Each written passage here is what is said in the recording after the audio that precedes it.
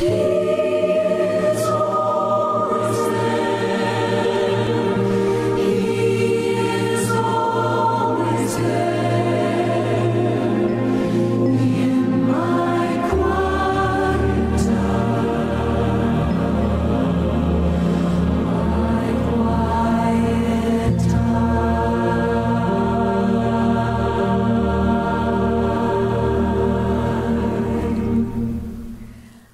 Hi, everyone.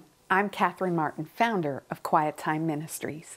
And every day I have the privilege of meeting alone with the one who actually created me, who made the world. His name is Jesus, and He is King of Kings and Lord of Lords. And this is my quiet time. In my quiet time, I noticed something in Revelation 2 and 3, and it was a repeated phrase. Seven times Jesus said it to all seven of the churches of Western Asia Minor. And because Jesus said it so many times, all of a sudden a huge light bulb went off in my mind. And I believe it was the Holy Spirit turning on the light of a very powerful truth for me. At the end of each of the seven letters in Revelation 2 and 3, written from Jesus to seven churches in Western Asia Minor, Jesus says, To him who overcomes, or he who overcomes.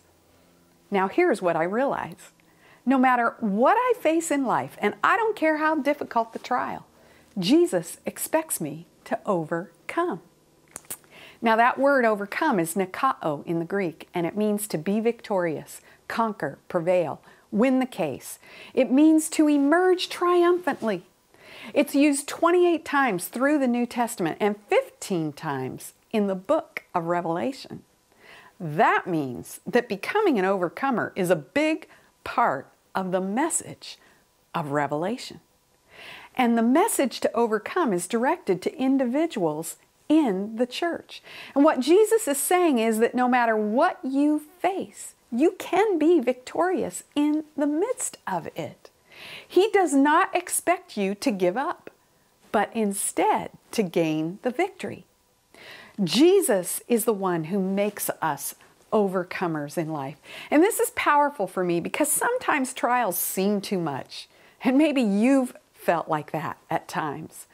And what's amazing is that in all the years I've studied Revelation, I just never saw this before in quite this way. It seems that the Lord was saying, Catherine, I want you to overcome in this that you are currently experiencing.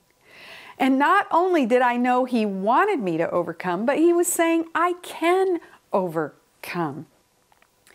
Now, there's a great verse about this, and it's in John 16, verse 33, and I want to read it to you. It says, it's, it's Jesus speaking, and he says this These things I have spoken to you, so that in me you may have peace. In the world you have tribulation, but take courage. I have overcome the world. And this is important in understanding the ability to overcome.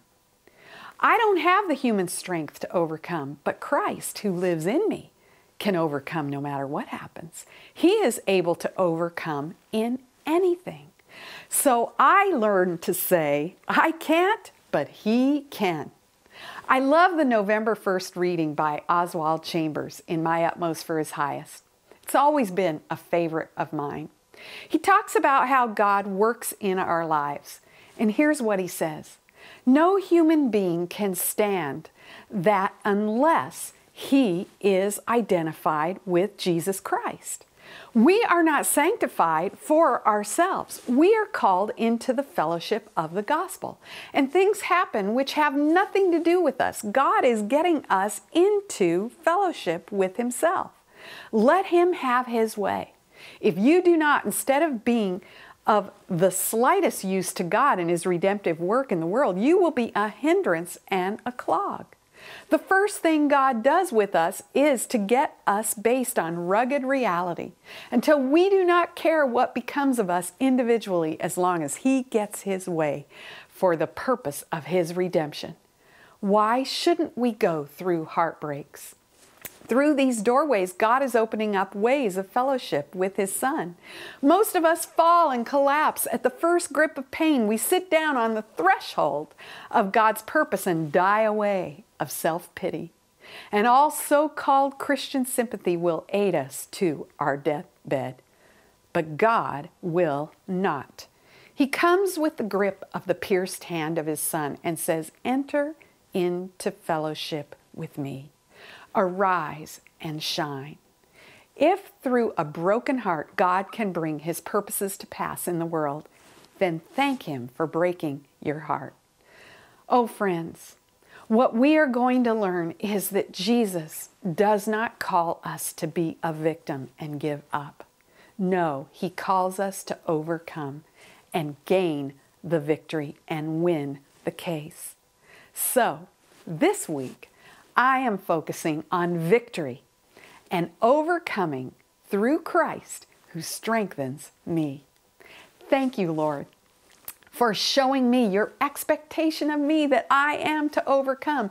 And thank you that you are the one who overcomes in and through me, and that nothing is too great for you.